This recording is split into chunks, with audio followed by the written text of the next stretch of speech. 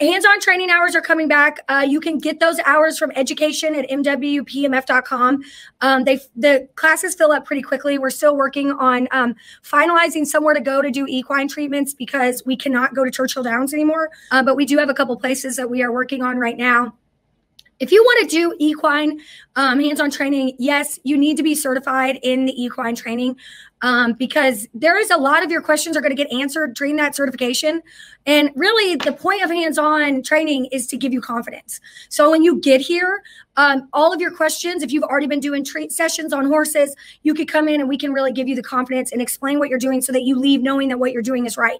If you come in and you have not, not done anything and you have not taken the certification, you're it's going to be a waste of your time. We're basically going to show you exactly what we already show you in the videos on how to get started. Um, and you're really not going to be able to ask those in-depth questions that you need to get that confidence. So I really, really recommend that you do that.